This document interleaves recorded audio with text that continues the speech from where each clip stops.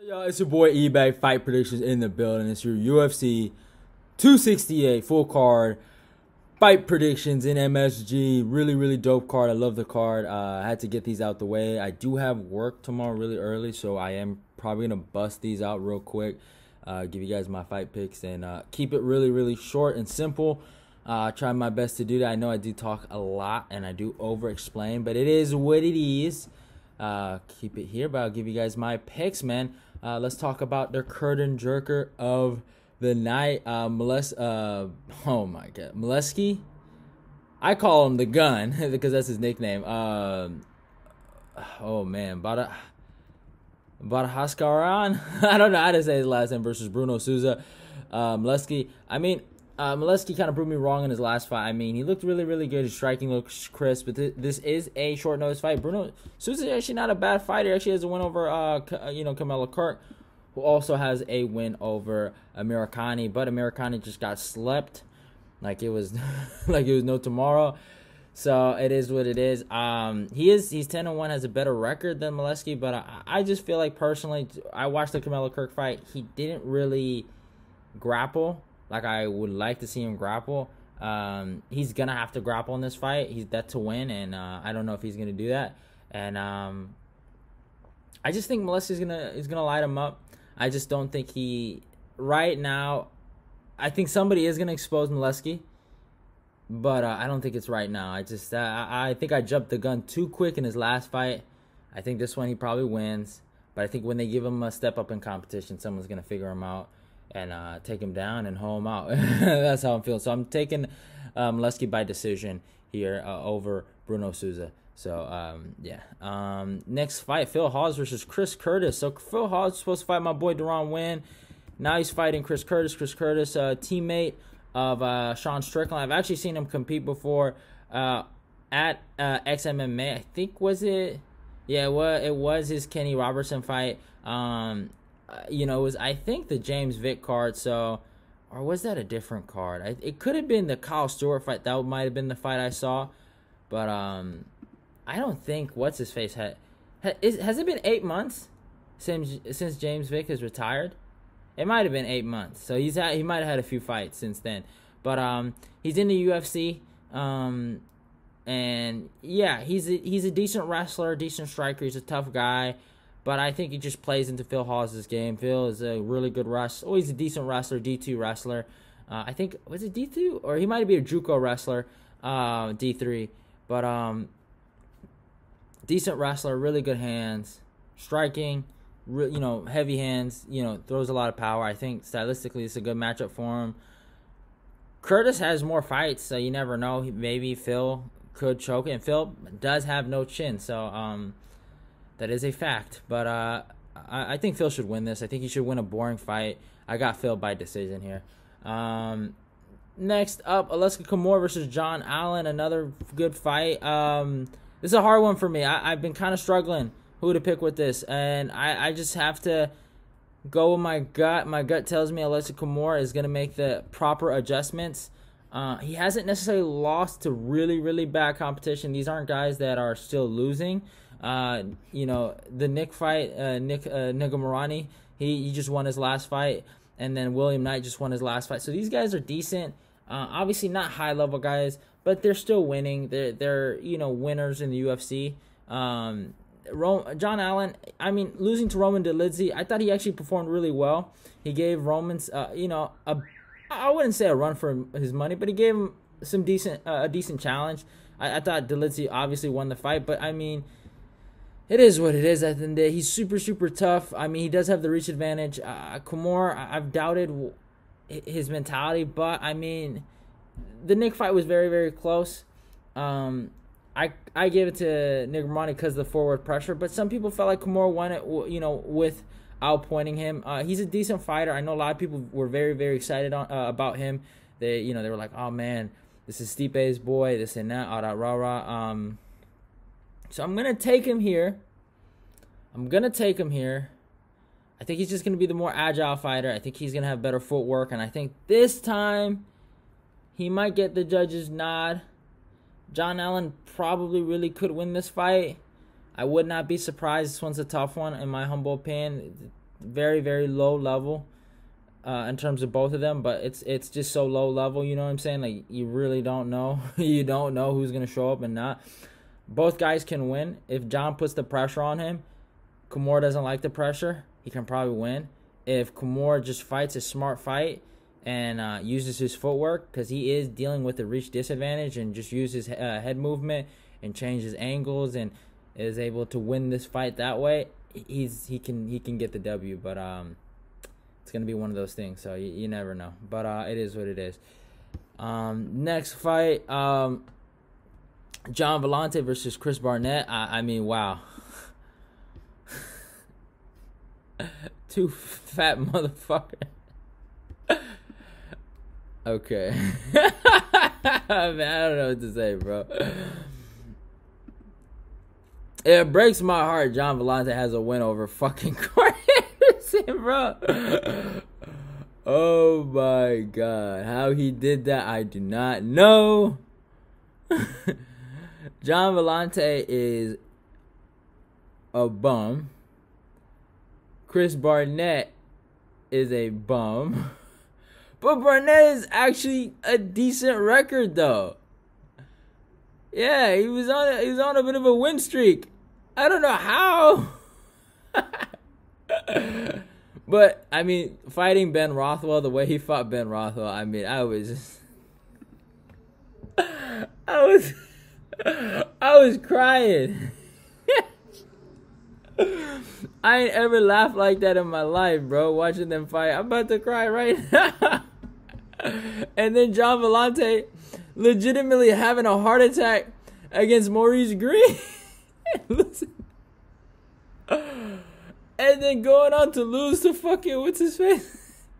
Jay Collier. I mean, it's just I don't know why Gian Villante is fighting at this point, bro. It's just he's 36, he's 17 and 13. He's getting close to a 50-50 record. But he's more athletic than this fucking piece of gar- garbage and Chris Barnett. Yo, bro, when he fought fucking Ben Rothwell. I'm sorry, y'all. I'm sorry, bro. I'm just I'm just remembering the Ben Rothwell fight, bro. the dude almost had a heart attack too, bro. He almost died. oh my god. Bro. I don't know who to pick, bro. I'm I'm gonna pick um I, I, I'm gonna pick Gian Villante. Uh, I'm sorry, y'all. I'm so sorry, bro. Both guys have almost had heart attacks in the UFC. Both guys are unathletic. Well, Gian Villante is somewhat athletic. Both guys are just out of shape fools. That's what I'll say. So, I'm to take Gian Villante here by decision. And hopefully, he fucking has a good fight and uh, just comes in shape and does his thing. That's what I'm hope. So it is what it is, and hopefully he beats Chris Barnett. Oh my god, I'm about to cry. Uh, CJ Var- Varga versus Ode Osbourne up next. Um, it's a hard one. I, I mean, Ode just got knocked out not two two months ago, so that's something to look at. Um, but the CJ Varga guy is he's really small and tiny. You know, he's a five six guy. Uh, I, am not too impressed with him.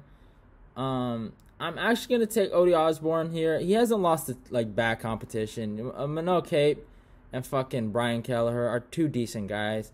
Uh, Kape, former Rizin champ, uh, and Brian Kelleher is coming off some wins or coming off a win, I think, just in his last fight, and he has fought decent competition, beat Hunter Azure. I think Ode Osbourne isn't a bad fighter. I think stylistically, he actually has some really, really good you know physical attributes that he brings to the division uh, at uh, what's it called flyweight. So I, I think um, I think he wins this one. I think he, he gets the W here. I think his length, uh, having the reach advantage like that, I, I think he'll get the W here. So I'm, I'm gonna take Ode Osbourne by decision uh, to get the W. So yeah. Uh, next fight: Jordan Williams versus Ian uh, Garry. Um, interesting. I mean, uh, Ian Garry, very very touted prospect. I I like him a lot. Uh, really really good skills here. I don't know if he's gonna finish. Like no matter what, I think he beats Jordan Williams, but I don't think he's gonna knock him out. Jordan Jordan Williams seems super super tough. Uh, he was really hard to finish when he fought Nassourdine Imavov. Uh, now Mickey Gall finished him, but he submitted him, but he did drop him. Uh, Garry, I mean, has a beautiful one too. He's training with Sanford MMA. I like the people he's with. He's it's it seems like he's uh, with a with a good group of people over there with Henri Hooft and all those guys. Um, so uh, you know, it's it's hard to say right now, but I, am gonna take Ian Garry. Uh, I just think stylistically, it's it's a good matchup for him. Um, Jordan is kind of his level, you know, contender series kind of s fighter. Um, I don't think he's, he, I don't think he's won in the UFC actually, right? Like an actual UFC fight. Yeah, he's only won that that contender series fight. That was a year and one month ago. He's lost his last two. The Mickey Gall fight was an eye opener, and uh, I mean, if you're making Mickey Gall look like fucking I don't know. I, I don't even know how, who to say. But if you're making Mickey Gall look good, I, I mean, I, what level are you really are? Because you know, Mike Perry that's fighting that fucking bare knuckle did did horrible things to Mickey. You know, made quick work of him. So um, not quick work, but made easy work of him. And um, I think Ian, Ian Garry he should probably get the W here by decision. I don't know if he's gonna finish Jordan. It's just it's really what it comes down. How do you think he gets it done? Uh, he's a he's a knockout artist. I'll give him that. He has a good one too. A lot of people compare him to to what's his name, Mick Bum McGregor. I call him that sometimes. well, Conor. Uh, I, have seen those comparisons, so um, I get it. I see it. It's a really good one too, but uh, I think he gets it by decision. So it is what it is. Um, next fight, uh, Andres Michailez versus Alex Pereira. Um, really really interesting fight here. Uh, Alex Pereira. I mean, he's three and one as an MMA fighter. That's one thing. Um, he's 34 years old. Great kickboxer. Great kickboxer. Uh, Andres Michailez is 13 and 4 in MMA. 33 years old.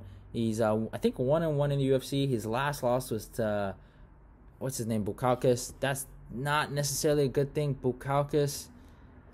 I mean, he, he got destroyed by Jim uh, Jimmy Crute. I thought he won his um, you know, Mikhail Olenjecic fight. I thought he won that fight, uh, and but he got destroyed by, against Khalil Rountree. Khalil Rountree is a female. Sometimes in the octagon, you don't want to get smoked by him. Um, you know, it's kind of not a, a, good sign that you know. But it was a weird, weird finish and a weird fight uh, against uh, you know Bukauskas. You know, he it looked like he had hit his head on, on the fence and you know the elbows and stuff like that. It was very, very interesting what happened that day um, and how he got finished. So it is what it is. Um, but I mean, his last fight, I mean, he didn't look good at all. Even but his opponent wasn't really good at it at all. I felt like you know KB Bhullar, uh, he's not necessarily. I mean, I don't know. He's, he's not that good of a fighter, uh, but he, you know, he made it somewhat competitive. Um, and it was kind of like nasty to watch. So I, I don't know. I think Andres, unless he he can wrestle, though. I've seen him shoot for a takedown. He has decent double legs. Um, but if I'm being honest, he's probably gonna have to shoot here uh, against Pereira. But Pereira's been working with the light heavyweight champion of the world, Glover Teixeira. Feels so good saying that, by the way. Um, he's been working with him. I think if he shoots I think Pereira's going to defend it. I think Pereira gets him out of there in two. Um, I think he's going to be shooting for his life in this fight, and uh, I think Pereira's going to have some takedown defense. I think he is. Just working with Glover, working with those guys. Um, yeah, I, th- I think he gets the W here. Um, second round KO for uh, Pereira. Uh, next fight, uh, Al Iaquinta versus Bobby Green. Really, really dope fight right here. Um, the return of Al. Uh, I I actually don't. I like Al. Al's a cool dude. Um, probably the last um respectable fighter from Matt Serra and uh you know or Serra-Longo in that camp. Uh, well they got Merab. They got Merab, Al, Weidman, right? Well, my, Weidman's not there no more. Weidman's uh, with uh, Wonder Boy. They got they got some good guys. I mean, uh, but um, obviously they got the actor boy up in there. sticking up the joint. So you, you never know. But Al, I, he's a good, tough fighter. Uh, not a not an actor. uh, Bobby Green is also really good. Um, stylistically, this was kind of hard for me to decide who's gonna win. Um, I don't know. Green, this seems like a fight he should win. Uh, this is also a guy in Al Iaquinta that's a former top five uh, lightweight. People forget that he was in the top five of the lightweight division. Uh, and you know he gave Khabib some problems. He beat Kevin Lee. Um, so yeah, that's about it. Uh, in terms of his, you know, he knocked out Diego Sanchez pretty cool. So you know, it's hard to say. Um, they're both the same. Al's a good wrestler, but um, he's a wrestler that's lost. He's kind of like T Wood. He lost his offensive wrestling ability a while back in his career and kind of relied on his hands. But uh, instead of being like T Wood, he goes forward. Uh, he's good defensively though, uh, with his grappling defense. He kind of reminds me. Uh, I would, I shouldn't compare him to to T Wood. More like Eddie Alvarez. Um, you know, really, really scrappy. Goes forward. Has good takedown defense. Has decent boxing uh, against other wrestlers. But uh, when he fights against other decent strikers, uh, like you know, in kickboxers especially, he he you know he has problems. But he has good boxing though. If you don't add no kicks and stuff like that, you know he his hands are decent. Um, he just has a hard time with guys like you know those tall, lanky, you know kickboxers like Dan Hooker and uh, Cowboy Cerrone. You know, um, and I think that's where Bobby Green and him match up really well because they like to box a lot. So um, it's gonna be a, a lot in the boxing. I think Al is gonna wrestle. I think he can get a takedown here. I'm actually gonna take Al. I'm gonna take Al over Green. Um, I think Al. You know, it's been a minute since he's fought. Um, I think he did a good job. You know, it's been about two years since he fought Hooker. Um, that was a really smart decision. You know, he kind of got lit up there, and uh, he he got he. You know, a lot of people thought he looked really really bad in there. So uh, it is what it is. I think, I think he will. You know, chain uh, chain his wrestling, use his boxing, and uh, get in those hips. Green's a good wrestler, but it's just one of those things. Is like, I'm not saying that Green can't win this fight, but Green has such a knack for getting into those split decisions and getting into those um, close fights. I just personally feel like I think Al might win a robbery here, you, you, or a I shouldn't say a robbery, but a close fight that could you could give to uh, to Green. So it is what it is. I'm taking Al by decision. All right, you know. Uh, next fight, Edmen Shahbazyan versus Nassourdine Imavov. Uh, really, really good fight uh, in the middleweight division. Uh, really dope. I'd love to see this fight. Um, it's hard. It's hard to say, but Edmen Shahbazyan, since his last two losses, has gone to AKA. He's made that jump. He is. Uh, I don't know if he's an official AKA fighter. If Javier Mendez is going to be in his corner, but I know he did some of his training camp uh, there for this fight. Nassourdine Imavov coming off an impressive win over Ian Heinisch. So it's, it's a dope fight. Uh, Nassourdine, obviously, with those guys in France, uh, with Cyril Gane and all them, with Fernand Lopez. Uh, I, I like the fight. It's a fun fight. Um, stylistically, uh, Nassourdine is going to give a lot, a lot of problems uh, to Edmen, but uh, it's it's going to be interesting to see how well it plays out and stuff like that. So uh, I can't wait for it, and um, it's gonna be it's gonna be fun. It's gonna be fun, but um, I I think uh, I think Edmen should win this. I think Ed, if it stays on the feet, Edmen should win this. If Nassourdine does go for takedowns, he's shown a takedown game uh, against uh, Jordan Williams he could win this fight, but I'm gonna take Edmen here. I think Edmen's gonna rebound. He needs to win. If it, if it becomes three, then he's in a he's in hot water. So, um, I think Edmen gets the W here by decision. I think he's gonna show his takedown defense, and uh, he's gonna show some really really good striking. Uh, but yeah. Uh, next up, Shane Burgos versus Billy uh, Quarantillo. Uh, I did a breakdown on this, so that's going to be coming out. Uh, so I won't go too heavy on this. I'm going to take Burgos by third round submission. I think Burgos is going to show his grappling game in this fight. I mean, getting knocked out in both it. Well, he didn't. Did he get knocked out in both of his fights? No. Well, getting basically knocked out in in his last fight, and then getting hurt against Josh Emmett. Uh, I think he knows that you know he can't rely on his chin too much. I think he learned um, that the hard way. Um, he's obviously my boy. I like him a lot, so I'm rooting for him heavy here. Um, but I just you know seeing the way Billy kind of had his head out there against uh, Gabriel Benitez. It just and Gabriel was always going for them guillotines. Um, I think it, it just kind of goes into Burgos' uh, you know style. And Billy likes to wrestle sometimes, so I feel like Billy's gonna wrestle, not knowing how good Shane is on the ground. A lot of people don't realize how good Shane is on the ground. Uh, Shane just really likes to box, so um, I think people are gonna really see his uh, his ability and his uh, his uh his full expertise in MMA. So I got to go with Shane by third round submission. Uh, next fight, uh, Frankie Edgar versus Chito Vera. I do have a breakdown on this. I got to go with my boy Frankie Edgar. The answer. I think Frankie is to light uh, Marlon Chito Vera up a little bit. I think he's going to take him down. And uh, I think he is just going to have a really, really good performance. I think Chito probably would have done better in a five rounder against Frankie. Um, Chito should try to go knock him out. But I don't know if Chito has that ability to go chase for it. Frankie is a little bit chinny now. He's older. But uh, I think Frankie's wrestling and his uh, his boxing and, and his transitions into the takedowns are going to help him out. And uh, I think he gets the W here against Chito Vera.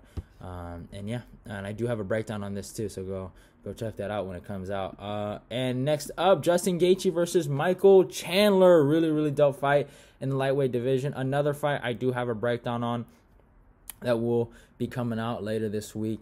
Uh, I got to rock with Chandler by second round TKO. Um, Gaethje, I mean, he's he's been really running his mouth. Uh, this is more just my personal feeling. I, I go more of it more into more of the technical reasons why I think Chandler beats Gaethje.